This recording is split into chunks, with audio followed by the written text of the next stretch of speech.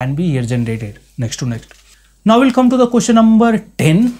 That question is Ram and Mohan taken the flats in same apartment at same rate of 12% for 10 years.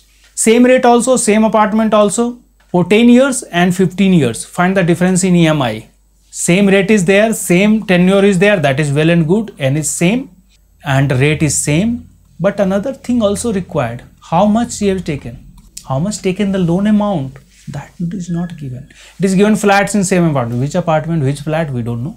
What is the principal amount, how much loan he has taken, maybe a flat cost is 70 lakh, out of 70 lakh maybe he has taken, taken the loan 50 lakh and 20 lakh paid, correct? Maybe Mohan, Mohan same 70 lakh, he has taken he has taken uh, 50, 50 lakh and he has paid 20 lakh in some different way.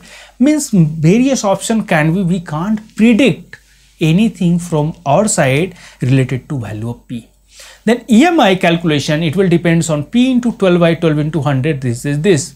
This p how to calculate? This emi how to calculate? Without p we cannot calculate. Then difference we cannot find.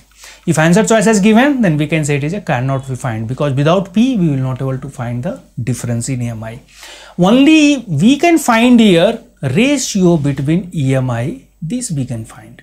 EMI of Ram and EMI of Mohan. That can we find because once we will take in the form of ratio, P and P will be cancelled out.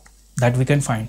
Or based on that, we can find, the, based on that, we can find that EMI of Ram will be how much more than EMI of Mohan. What is difference here? Here difference will be here uh, n is for one person n is 10 years another is here for 15 years. This rate is same. Rate is 12 percent for both. Uh, but for ram ram is taking for 10 years and Mohan is taking for 15 years. That is only creating the difference in amount.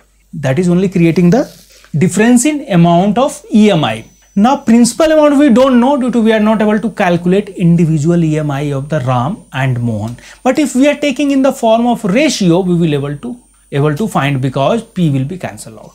Now based on that, we will able to find percentage of EMI of RAM is how much more than Mohan or percentage of EMI of the Mohan is how much percentage less than RAM or vice versa. This type of means percentage based calculation and ratio based calculation we will able to do without knowing the